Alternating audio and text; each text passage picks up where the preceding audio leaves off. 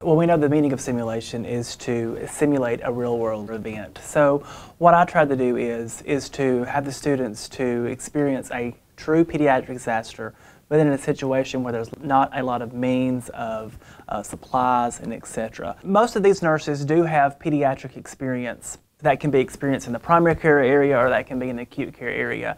So they come in as nurses. They've been used to getting orders from the provider and implementing them. They are now that provider. I think the new building allowed us to create more realism. We had much more space than we typically would have um, compared to previous years. Also, we had more room in the actual room, so it looks more like a nursing unit, it looks more like a true hospital. Mannequins add to the realism by simulating what a typical person would.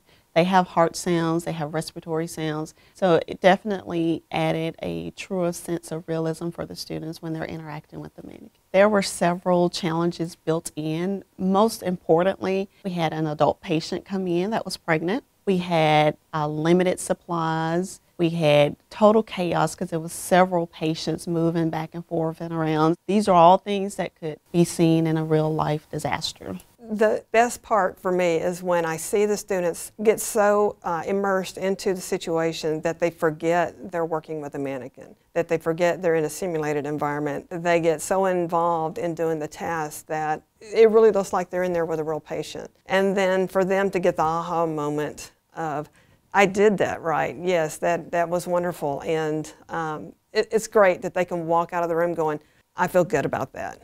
With our team approach with this simulation, we're able to think about it during the year. For days, we're prepping the mannequins and getting them ready because this is a big simulation.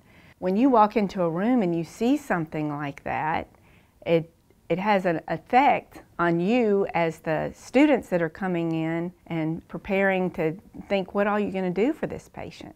And it's, it's trauma, it's scary but it makes them think, and this is the safe environment for them to think about all that. Basically, take all of their learning from all of their years of schooling, all of their clinical hours, and it all clicks into place and becomes one, they essentially transform in that moment from student to nurse practitioner, and that's really an awesome thing to see.